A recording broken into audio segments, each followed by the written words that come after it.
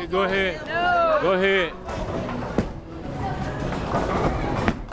Ah, that's good. I want to make sure you left with a good feeling.